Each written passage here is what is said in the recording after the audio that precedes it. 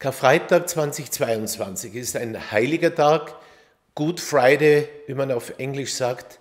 Aber es ist das Gute an diesem Karfreitag. Wir können sagen, das ist höchste Bedrängnis. Wir erleben eine Vielzahl von Krisen und vor allem diesen dämonischen Krieg in der Mitte Europas. Das Gute an diesem Karfreitag, wie an jedem heiligen Karfreitag, ist, dass wir an einen Gott glauben dürfen, dem kein menschlicher Abgrund unbekannt wäre. Am Kreuz hat Jesus alles durchlebt, was es an Lüge, an Entfremdung, an Bosheit, an Aggression gibt.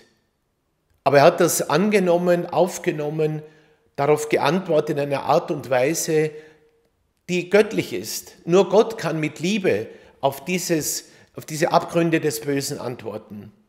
Und so gibt es mit dem Karfreitag einen Korridor der Hoffnung, einen Korridor der Zuversicht, dass neues Leben wieder möglich ist. Dass die Bosheit, das Böse in vielfältiger Gestalt eben nicht das letzte Wort hat. Ein Korridor der Zuversicht, auch ein Korridor der Vergebung, weil Jesus jedem Menschen einen neuen Beginn schenkt. In diesem Sinn wünsche ich Ihnen, was auch immer Ihre persönlichen Anliegen, Verwundungen sind und was Sie solidarisch an Verwundungen dieser Zeit mit hereinnehmen heute ins Gebet, einen guten und gesegneten Karfreitag.